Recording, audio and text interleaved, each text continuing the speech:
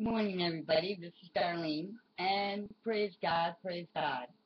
It's uh, Sunday right now, and here it's 10:01 a.m. and uh, kind of um, gloomy outside, but as you know, group, this is the day that the Lord has made. We shall rejoice and be glad in it. Um, as you can see here, if I point it over here, I have um, right here. I have uh, the the the my screen, and I have what I'm recording of her. And so, um, anyway, what I would like to say is that um,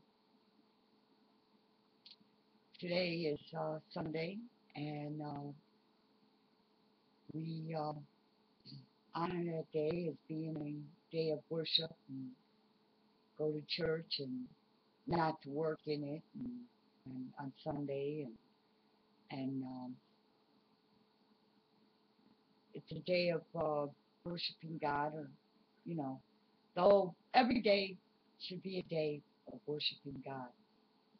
But uh, Sunday is considered a Sabbath day so we gather together and, uh, we go to church um, we know that the Bible tells us do not forsake the assembly of gathering together.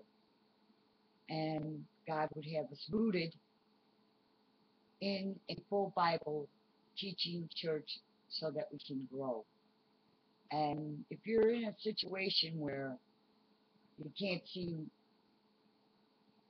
to get to a church or you can't go to church, then um, hopefully God will put you in a place where where uh, you desire to grow in ministry, grow um, in your faith, and work for the Lord within the ministry. Um, if you truly have a desire in your heart for that, God will place you somewhere to where that desire is fulfilled because He put that desire in there in your heart in the first place. So just keep believing God that He'll open a way for you to do that, and He will. Well, praise God. I just want to say hello to the group and have a glorious day in the Lord. And Jesus is Lord. I group.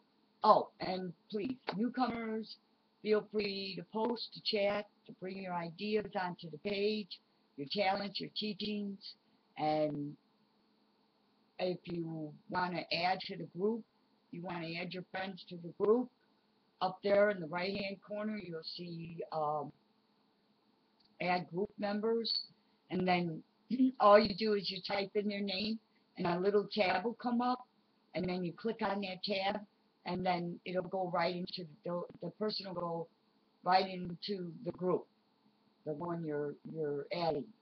And um, from there then I see the welcome welcome in and and I just welcome them in from there. So uh, newcomers and uh, ones that are already in uh, hope you enjoy the page. And like I said um, feel free to post to chat and the only thing that I really don't allow is soliciting now you may get a ministry or something that needs Bibles or clothes for children or something like that, then yeah, I I would let um, I would let that be on the group page. But any kind of soliciting, like a person just asking for money and, and stuff like that, no. Or any kind of profanity, that's not allowed.